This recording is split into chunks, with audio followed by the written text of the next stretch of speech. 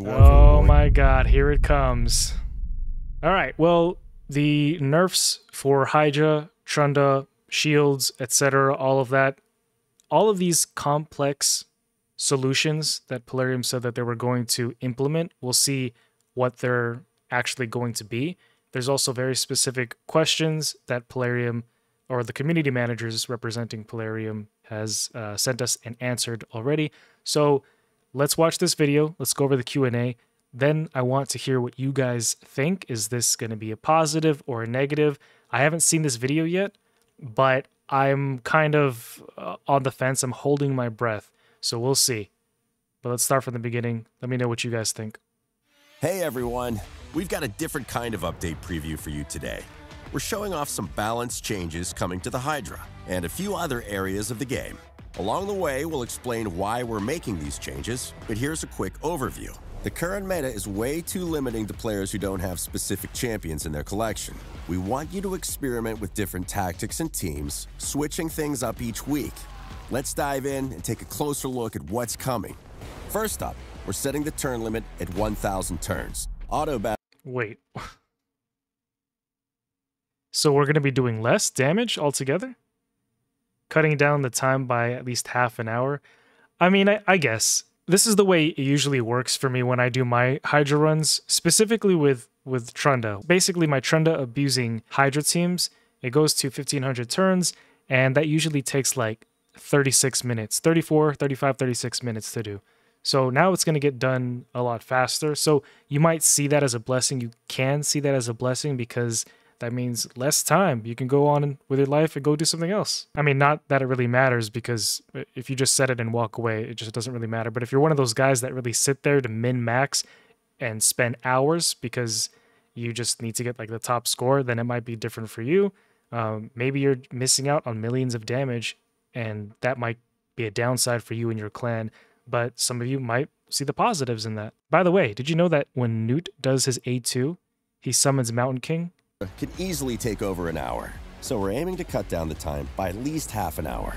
You'll now need to build teams that do damage faster, rather than teams built for a war of attrition, with a few... I think that's specifically addressing the infinity comps that people have been using for Hydra adjustments, you'll have no problem reaching the damage numbers needed to get your usual rewards. Moving on, we're changing how the Serpent's Will buff works. Most importantly, and brace yourselves folks, it now reduces damage by 100% for a newly grown Hydra head. Yep, you read that right. Complete. Wait. Serpent's Will currently decreases the damage that the Hydra head receives by a certain amount. It's noticeable also. So now they're basically invincible when they have the a new head's going to come out and it's going to be untouchable, I think. We're not going to be able to cuz he said 100%, right? I don't know about that. That seems like they just kind of made it harder. Complete damage. You read that right. Complete damage reduction. You won't be able to nuke a newly grown head straight out of the gate anymore. There's good news too.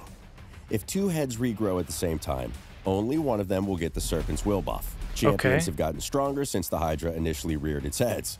What with Awakening, Empowerment, and Mythical Champions joining the fray.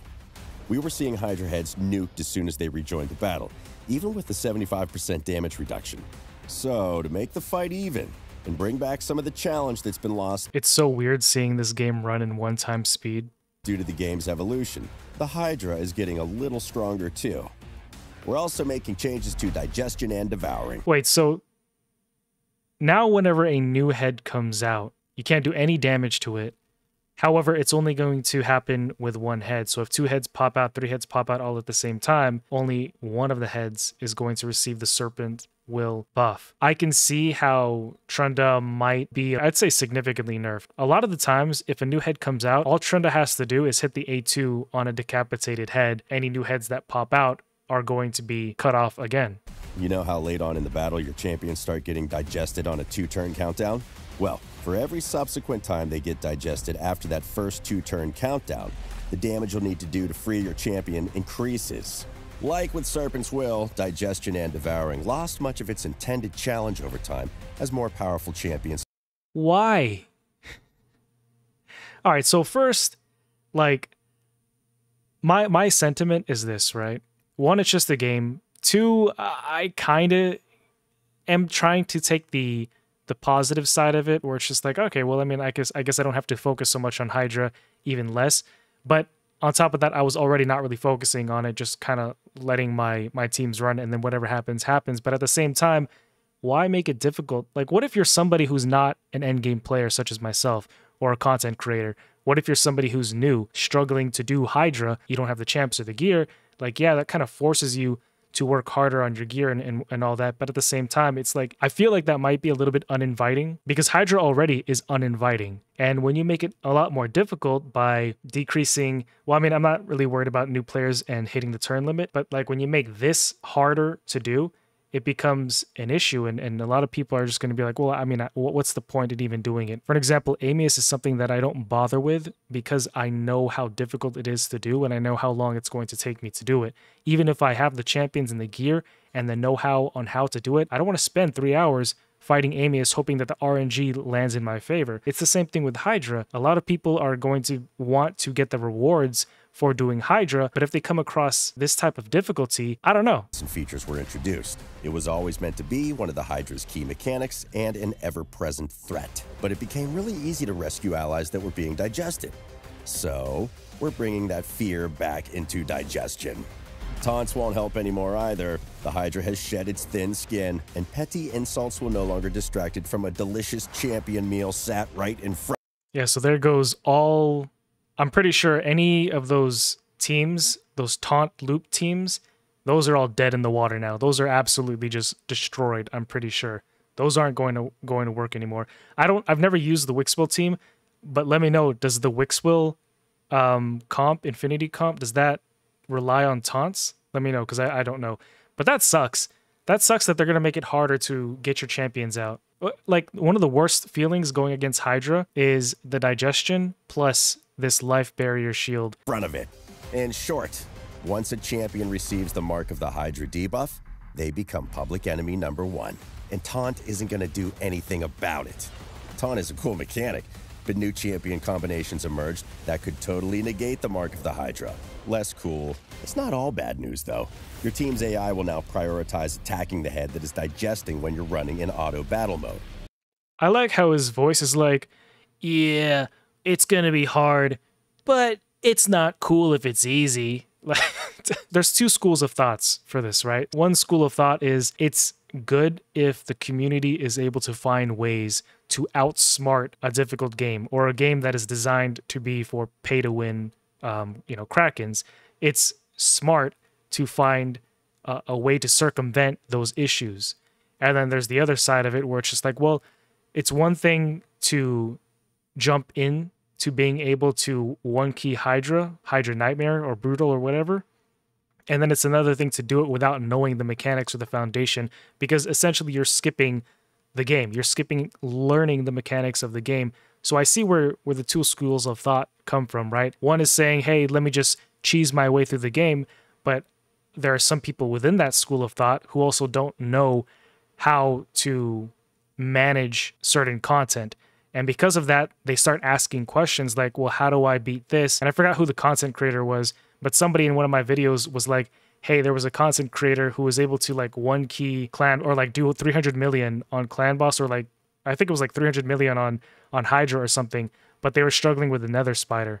And I'm not judging or anything, but I mean, I feel like the difficulty, it just doesn't match because it's it's too easy to just copy and paste the team. Now again, like I'm saying, it's one thing to know how to play the game and learn the mechanics and know how to do that and choose to use one of those cheese comps because it saves you time and and whatnot. That's cool. But I think a lot of people should spend the time to learn how to play the game. Prioritize attacking the head that is digesting when you're running in audible mode. Teamwork makes the dream work. Exposed necks are also getting a rework. From now on, exposed necks will have a set HP value that is double the original head's HP. Once that value reaches zero, the head will immediately regrow. With constantly regrowing Hydra heads, you'll need to think on your feet and have tactics in place for all potential scenarios. Oh, man, Hydra battles are about to get much tougher.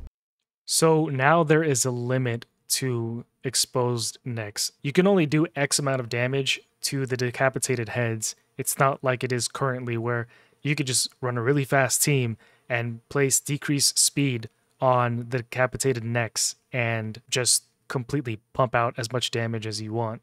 Now there's a set limit. But the changes don't stop there. We've got a few more lined up to help keep things balanced, starting with shields. Shields will now receive a cap of 1 million points. This cap is separate for shields placed by artifacts and shields placed by skills, though. So you could get up to 2 million points of shield. Just I can't take this guy's. Like I, I get it. it. It's cool. It's fine. It's fine. It, it's all you know. Pa, I, I'm I'm not like hating on it. I just think just, I can't stop but but like laugh on it. It just it kind of reminds me of that Austin Powers when when Doctor Evil is like one million dollars. Uh, yeah, and sorry, I, I, I'm a simple man. I found that funny. These caps are still big enough to ensure powerful builds remain viable for taking on the Demon Lord and Right the there, Yannica, Wixwell. There goes your boy, Emic. I don't use shield teams, so I don't know how this works or if this is going to be. I mean, it sounds like a nerf to me. Even if I don't use it, it's, it's it sounds like a nerf. But maybe one of you guys could let me know how much of a nerf this is, or if it is, because I could be wrong since I don't know this type of comp. Hydra, but they'll not be as game breaking as before. And lastly, we come to everyone's favorite dwarf. Oh my God, here it comes. herself, Trunda Giltmallet. Don't worry, we're not nerfing her into oblivion. We're just rebalancing some of her skills to keep her damage numbers in Hydra battles more reasonable. Starting with her default skill, Golden Mallet, Trunda will now have a 50% chance to place a stun debuff on both hits. A little upgrade, but a neat one for PvP. Trunda's second skill, Cloak of Ages, will now ignore 50% of each target's defense on her second hit. However, the caveat here is that it will only ever be a normal hit. It's still big damage, but it won't be quite as astronomical as they have been before. Forge Rhythm, Trunda's third skill, now places And so, for those who don't know, the Cloak of Ages skill, that was the bread and butter of Trunda teams. This is a straight up nerf to Trunda, and I kind of feel badly. Actually, no, I don't fucking feel badly. What am I saying? I can't help but think about all the Krakens and whales and the people who spent money to summon Trunda or empower her all the way. For me, this is just another nail in the coffin for for me to be like, well, I'm not going to ever really chase a champion because shit like this can happen all the time. I'm not saying that I'm against nerfing Trunda, but I'm it's just something that I'm thinking about. And I'm pretty sure, I mean, you guys already know me. I, I always do Reddit reacts and, and whatnot. We have the Burrito podcast. So we'll see what the community sentiment is, and I'll definitely read your guys' comments down below. This is consistent HP burn debuffs, and both hits from this skill deal 50% more damage to enemies under a stone skin shield. Another neat boost to her overall kit. Yeah. And finally, her passive skill now increases Trunda's attack by 5% for each stun or HP burn debuff she places on enemies. Her speed will still be increased as well, both by stun and HP burn debuffs. All in all, Trunda isn't going anywhere. We still expect her to be an excellent choice for Hydra battles and the arena. We tested a ton of early, mid, and late game champion rosters and team compositions when making these changes. Our results showed things will get better. You'll still be able to earn Hydra chests and milestone rewards in Hydra Clash. And you'll spend less time fighting the Hydra each week. As always, we'll be keeping an eye on your feedback and monitoring game data to see how these changes affect Hydra battles overall. There. Monitoring game data. If you did not believe me in any of my past videos before where I talked about how Plarium is tracking our data, every single resource, our participation in events, they just said it themselves. They're monitoring our data. We hope this preview has been useful for you and will help oh, on, wait, what did he just say back here? Hydra chests and milestone rewards in Hydra Clash. And you'll spend less time fighting the Hydra each week. Yeah. As always, we'll be keeping an eye on your feedback and monitoring game data to see how these changes affect Hydra battles overall. We hope this preview has been useful for you and will help you prepare for more battles against the Hydra. Don't forget to like the video and subscribe. Bro, like, how are people going to work around this now? A lot of people rely on those types of teams to do buku amounts of damage to Hydra for, for Hydra Clash and everything. And I'm just curious because we already know what the community is going to do. They're going to find something. They're going to find something. You already know. Now it's time to answer some uh, questions that you guys might have. We'll see. So, in questions to Plarium, common questions that were asked why did it take you so long to change Hydra? They said it was a complicated decision As you may imagine, it involved a lot of testing and finding the correct approach. True, tried lots of different options before we ended up with this particular solution. Is Trunda dead now? I think she is. But our intention was not to kill Trunda, but to end her abusive reign on Hydra. So now I'm wondering if Plarium was just like, alright guys, we milked Trunda as much as we can from all the Krakens, and it looks like all the Krakens pretty much have Trunda, so I think it's okay to nerf, just like how they let um, Taurus and Marichka reign for two years on uh, Live Arena, or not Live Arena, oh yeah, Live Arena 2, but PvP in general, just all over the place before doing a pseudo nerf. Thus, instead of nerfing her, made some rebalancing to keep her viable, but I mean, like, that second hit only being able to hit normal sounds like a nerf to me. We made some rebalancing that still kept her viable on Hydra, opened up some extra possibilities for use in other game modes. I do like that it now ignores Stone Skin, so that's interesting. This feisty badass is still strong, but not broken. Why shields? I think we all agree during our previous conversations the infinite shields are pretty abusive and might be destructive for the game. Thus, this cap for overall shield mechanics was definitely needed. It's interesting that as soon as everybody was able to get Wixwell, and remember, nobody knew that Wixwell was going to be integral integral for Infinity Comps and Hydra. I feel like it's weird the timing, right? Because as soon as, uh, like, and again, they're tracking our data, as soon as everybody was able to start one keying uh, Hydra left and right and doing billions of damage, they were like, okay, well, this is this is an issue. This is killing Hydra. This is killing a game mode for us that we don't want, and we are we don't want that to happen. The cap for overall shield mechanics was definitely needed. And I, I think there was quite a few, there's several of you guys who actually suggested this, the cap for overall shield mechanics. So I think I think this was okay. Uh, and again, I, I'm I'm I'm in the middle. If any of you guys are sitting here wondering, listening, like, okay, well, what does Burrito think? Dude, I'm chill. I already, if anything bad happens, I'm like, well, one, it's just the game. Two, it's already expected. And three, I just don't like invest too much into the game anymore in terms of like uh, my emotions. I'm kind of just like, I, I, enjoy it for what it is. And, you know, I, I dig it.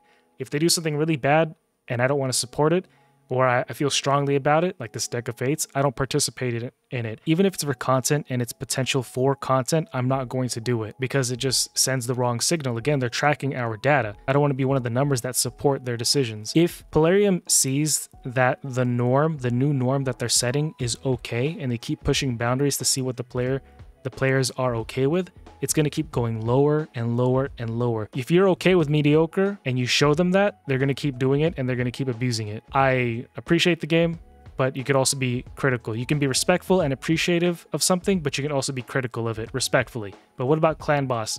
Clan Boss is fine. We don't need to kill the CB teams. A small spoiler alert, we're looking closely into it and might increase the cap if the squishier teams won't be able to make it. I think Yumiko was the problem. Just wanted to address this one because I've heard so many opinions that it's Yumiko who's the main culprit. Well, it turned out that tweaking Yumiko won't solve the situation in this case. Yes, she definitely played her part, allowing the abusive mechanics that didn't work as intended as intended. We're still monitoring the whole thing, but for now, we're not doing anything with Yumiko, so Yumiko is going to stay. Will I be able to get any chests now? Those who were able to get the last chest before the Great Hydra rebalance will still be able to get it. I know it might look like it's going to be hard on smaller players. While Hydra will become more challenging, it's important to say that the threat escalation will actually kick in around 100 Hydra turns making. Threat escalation? Which which one is what is this? So you'll have this time until it gets harder to deal necessary damage and score numbers for the chest. I don't remember this part being in the video. Threat escalation? And I guess it's the same thing as in Clan Boss, where after what is it after 10 turns it starts to get harder and so after 100 turns with hydra it'll quote unquote get harder that's why a lot of unkillable teams only go so far as 50 turns if you're running an unkillable comp because at 50 turns, Clan Boss starts to ignore those mechanics. Do I have to say goodbye to Hydra on auto? Not at all. We've made sure to run tests on auto as well. That's why we're changing the AI the head that is digesting will be prioritized, or on the contrary, the head under Serpent's will won't be prioritized as targets. They take something away, but then they give us something at the same time. They're doing all these things to nerf, but then they're kind of giving us something that I feel like this changing the AI so that they would automatically attack the di- the digesting head or avoiding attacking the heads that have serpent will on them which has been a problem in Hydra. I feel like that should have been a thing already. Like that should have just been a thing. And then for them to go like, "Oh yeah, we're taking all this away, but hey, we're giving this to you. We're giving this to you. Look, look at this. This is add this to the list of things that we're giving to you. When it's just like, bro, that should have been there already. You're giving me the bare minimum, so you can still run Hydra battles on auto. It'll take significantly less time now. And this whole only going to a thousand turns, I'm leaning more towards yes, just because less time. Will the Hydra head be able to receive buffs or debuffs under Serpent Will? Yes. It's a niche question, but useful to know. Just as always, we'll keep monitoring this game mode, collecting your feedback, make tweaks if necessary.